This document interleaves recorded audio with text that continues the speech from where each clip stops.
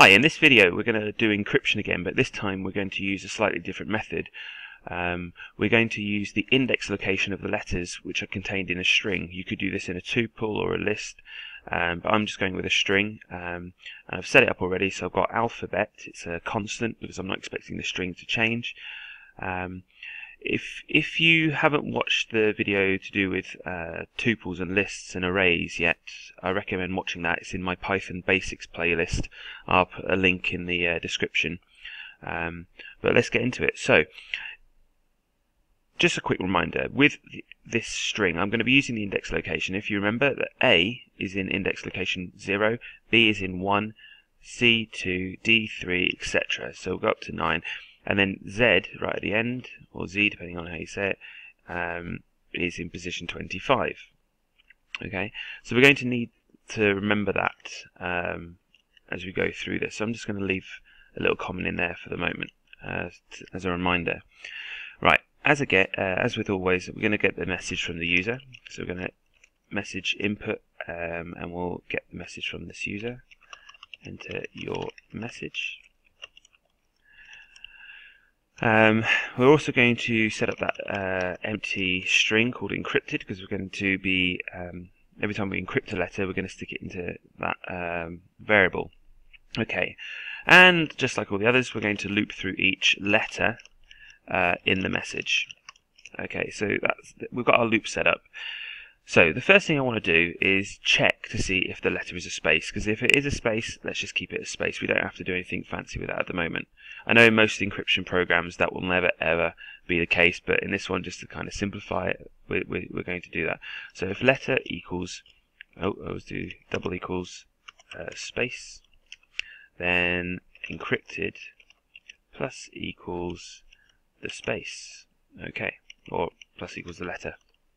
It's a a better way of doing it. Okay, so now we have our first uh, real check. Alright, so because I'm using the index location, I want to check to see um, if the well, oh, I'm, I'm checking for wraparound because I want to see if I need to, if I've gone beyond Z, I need to come back to A. So to check like an index location of something, um, we use uh, index, which is um, pretty obvious perhaps. So I'm checking the index location of letter. So what will happen is it will check letter, see what the letter is, and then check its position within this uh, this string. So, and it will return its index location. So if it was A, it would return 0. If it was B, it would return 1, etc.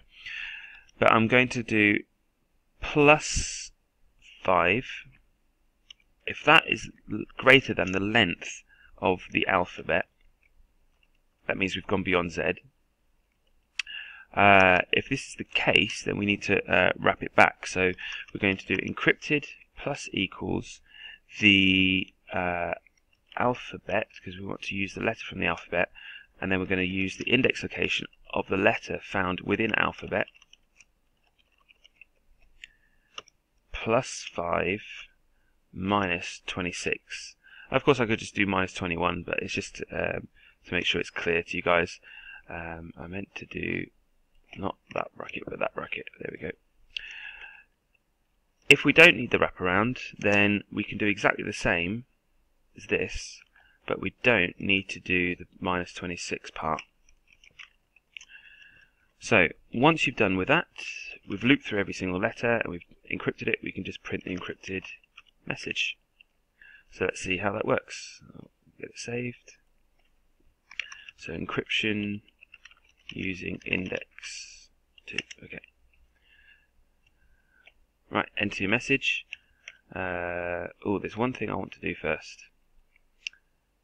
I was going to write, uh, I'll do it anyway. Hello world. I'm going to get an error because substring not found. You can't find little h because these are all capitals. So the simplest thing to do let's just stick an upper in the end there. Okay, let's try again. Hello world, and alphabet is not defined. Alph, oh, small spelling mistake.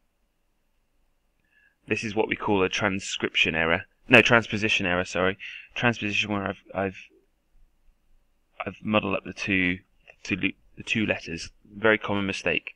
So we've got alphabet. We're going to have to copy that again. And then just minus the 26 part. Okay. Hello world. And there we go. We've got our encrypted message. This time using the keys, uh, well, the index locations as our guide. Um, so have a mess around. See which type you prefer using. There's merits for using, you know, all the methods I've shown you, and there are other methods. Have a play. See if you can come up with your own methods.